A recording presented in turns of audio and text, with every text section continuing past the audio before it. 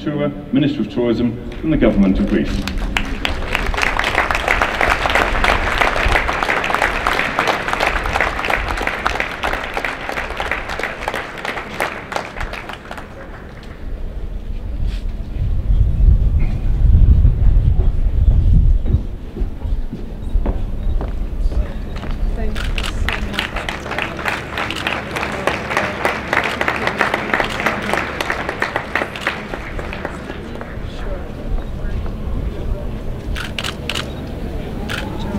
thank you.